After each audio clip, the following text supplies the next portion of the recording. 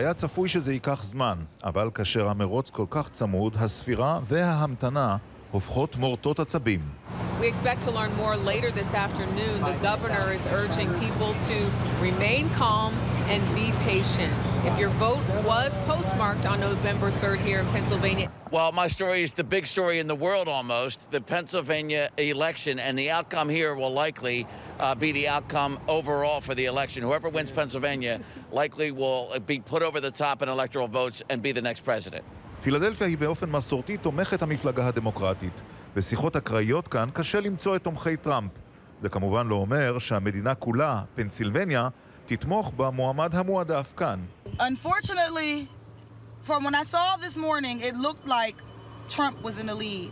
However, apparently we're still missing millions of paper ballots. So I believe Biden might take Pennsylvania home. Well, my hope is Biden. Yeah, mine too, Biden. I mean, for me in Philly, I've seen a lot of Biden Harris posters. Um, also outside in the suburbs, I've seen a lot of areas that are for Biden Harris. So I'm hoping this year we're going to go back to a blue state.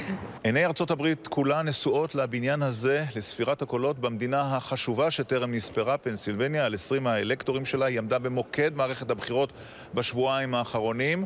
מי שיזכה בפנסילבניה, סיכוי רב שיהיה הנשיא הבא של ארצות הברית, אבל כאן, במוקד ספירת הקולות, מסרבים בתוקף להתחייב על המועד האחרון, על המועד שבו תסתיים הספירה. We'll be done as soon as we're done. We want to make sure that every vote that is uh, ca- ca- legitimately cast and, we, and is good, it gets counted. That's what normally happens in elections. People vote, we count the votes, and, we, and then there's a, there's a winner and there's a, a loser. העניין הוא שאף אחד לא בטוח שזה אכן יסתיים ויהיה סוף פסוק ביום שישי.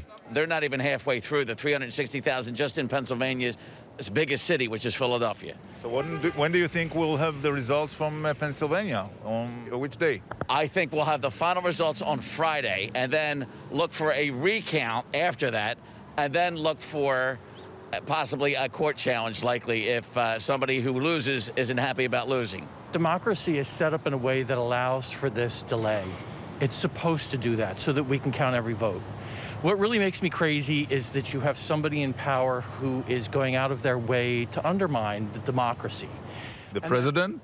that- the president, but then also on top of it, all the Republicans around him. The craziest thing I've ever seen in all 27 years of my life.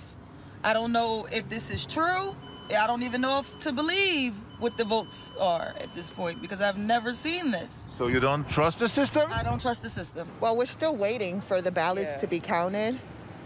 And I think we pretty much have to rely on, on the count at this point. Do you trust the process? Yes, I trust the process because um, it's a process that we've had for years and years, since the beginning of the United States of America. Okay. Whom do you want to win? Oh, Biden. Biden, of course, Biden. But you didn't vote. Me? Not yet. Yeah. When I get 20, I'll vote for him. You got a sticker? Huh? You got a sticker? Oh, yeah, it's right here. It's right here. Oh, Uh-huh. great. Uh-huh. Uh-huh. I voted. I voted. Uh-huh. Good luck. ירון דקל וליאור פז, פילדלפיה. לי שהדבר הזה